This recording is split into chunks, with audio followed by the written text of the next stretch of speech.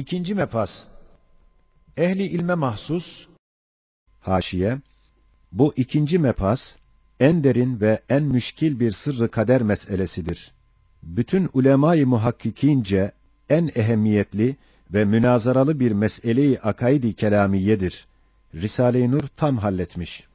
İnce bir tetkiki ilmidir. Eğer desen, kader ile cüz-i ihtiyari nasıl tevfik edilebilir? El cevap, yedi vecihle.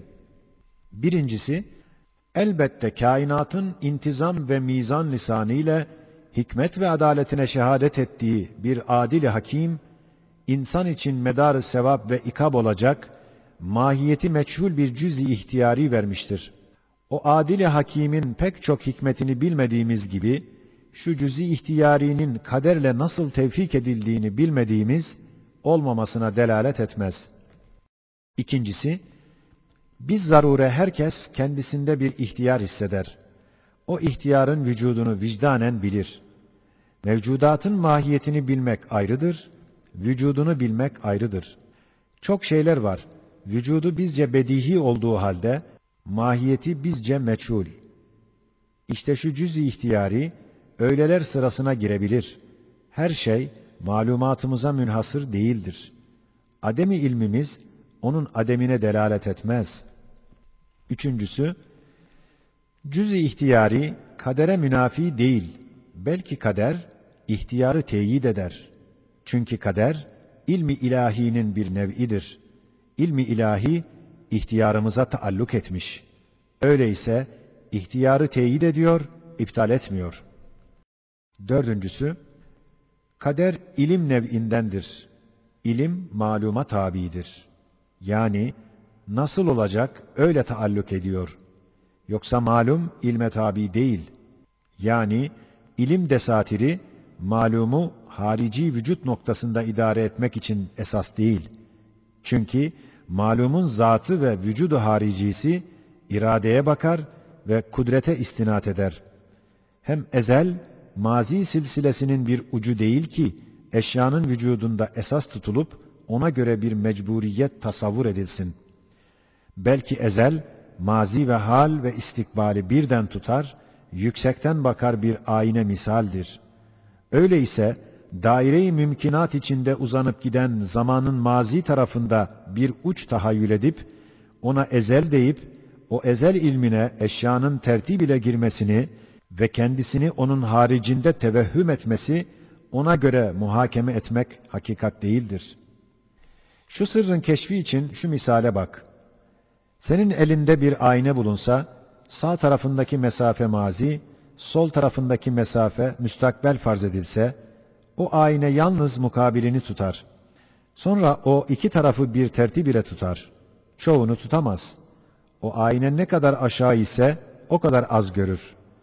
Fakat o ayna ile yükseğe çıktıkça o aynenin mukabil dairesi genişlenir. Gitgide bütün iki taraf mesafeyi birden bir anda tutar. İşte şu ayne şu vaziyette onun irtisamında o mesafelerde cereyan eden halat birbirine mukaddem, muahhar, muvafık, muhalif denilmez. İşte kader, ilmi ezeliden olduğu için, ilmi ezeli, hadisin tabiriyle manzarı aladan, ezelden ebede kadar her şey, olmuş ve olacak birden tutar, ihata eder bir makamı aladadır. Biz ve muhakematımız, onun haricinde olamaz ki, mazi mesafesinde bir ayna tarzında olsun. Beşincisi, kader sebeple müsebbebe bir taalluku var. Yani şu müsebbep, şu sebeple vuku'a gelecek. Öyleyse denilmesin ki, madem filan adamın ölmesi filan vakitte mukadderdir, cüz ihtiyariyle tüfek atan adamın ne kabahati var, atmasaydı yine ölecekti. Sual, niçin denilmesin? El cevap, çünkü kader onun ölmesini onun tüfeğiyle tayin etmiştir. Eğer onun tüfek atmamasını farz etsen, o vakit kaderin ademi taallukunu farz ediyorsun. O vakit ölmesini neyle hükmedeceksin? Ya cebri gibi sebebe ayrı, müsebbebe ayrı birer kader tasavvur etsen veyahut mutezile gibi kaderi inkar etsen, ehli sünnet ve cemaati bırakıp fırkayı dağalleye girersin. Öyleyse biz ehli hak deriz ki, tüfek atmasaydı ölmesi bizce meçhul. Cebri der, atmasaydı yine ölecekti. Mutezile der, atmasaydı ölmeyecekti. Altıncısı, haşiye, gayet müdakkik alimlere mahsus bir hakikattır. Cüz-i ihtiyarinin üssül esası olan meyelan, maturidice bir emri itibaridir, abde verilebilir. Fakat Eş'ari ona mevcut nazarıyla baktığı için abde vermemiş. Fakat o meyelandaki tasarruf, Eş'ariyece bir emri itibaridir. Öyleyse o meyelan, o tasarruf bir emri nisbidir. Muhakkak bir vücudu haricisi yoktur. Emri itibari ise illeti taamme istemez ki, illeti taamme vücudu için lüzum ve zaruret ve vücub ortaya girip ihtiyarı ref etsin. Belki o emri itibarinin illeti, bir rüçhaniyet derecesinde bir vaziyet alsa, o emri itibari sübut bulabilir. Öyleyse o anda onu terk edebilir. Kur'an ona o anda diyebilir ki, şu şerdir yapma. Evet eğer abd halık efali bulunsaydı ve icada iktidarı olsaydı, o vakit ihtiyarı ref olurdu.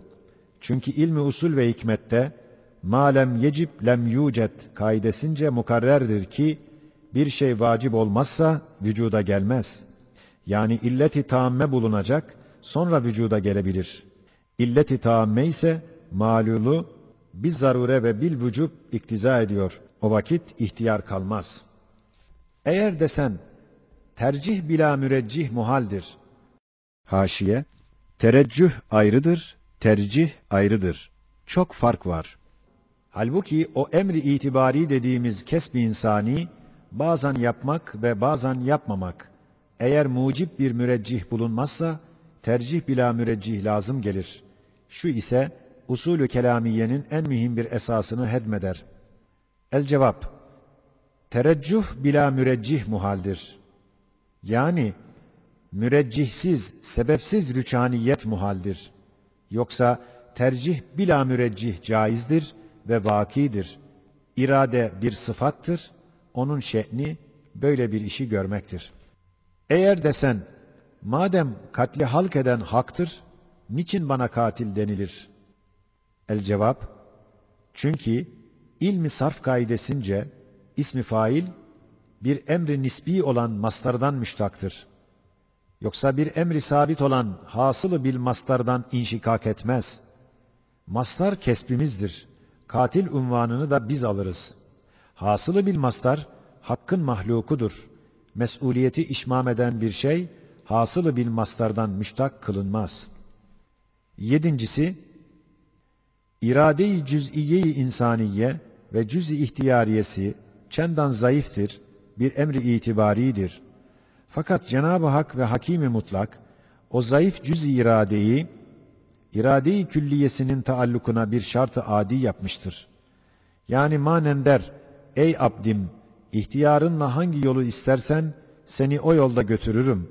Öyleyse mesuliyet sana aittir. Teşbihte hata olmasın. Sen bir iktidarsız çocuğu omuzuna alsan, onu muhayyer bırakıp, nereyi istersen seni oraya götüreceğim desen, o çocuk yüksek bir dağı istedi götürdün. Çocuk üşüdü yahut düştü. Elbette sen istedin diyerek hitap edip üstünde bir tokat vuracaksın. İşte Cenab-ı Hak, ahkemul hakimin, nihayet zaafta olan abdin iradesini bir şartı adi yapıp, irade-i külliyesi ona nazar eder. Elhasıl, ey insan, senin elinde gayet zayıf fakat seyyiatta ve tahribatta eli gayet uzun ve hasenatta eli gayet kısa, cüz-i ihtiyari namında bir iraden var. O iradenin bir eline duayı ver ki, silsile-i hasenatın bir meyvesi olan cennete eli yetişsin ve bir çiçeği olan saadet-i ebediyeye eli uzansın. Diğer eline istiğfarı ver ki, onun eli seyyiattan kısalsın ve o şecere-i mel'unenin bir meyvesi olan zakkumu cehenneme yetişmesin. Demek dua ve tevekkül meyelan hayra büyük bir kuvvet verdiği gibi istiğfar ve tevbe dahi meyelan şerri keser, tecavüzatını kırar.